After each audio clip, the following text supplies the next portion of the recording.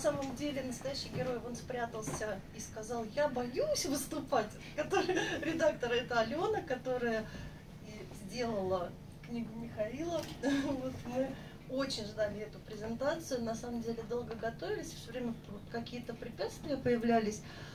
А, были академические площадки, рассматривали а, разные московские площадки. Ну вот сейчас я пришла сюда и поняла, что это, наверное, самая лучшая площадка, которую только мы могли придумать для этой книги. Это она.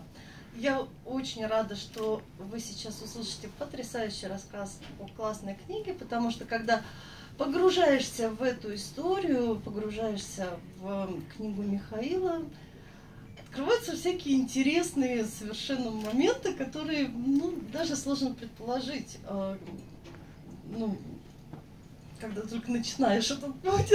Вот. И э, очень здорово, очень приятно, что есть э, люди, которые пришли посмотреть и послушать. Да, и мне представители магазина вот сказали, там есть книга, ее можно приобрести на выходе э, и почитать.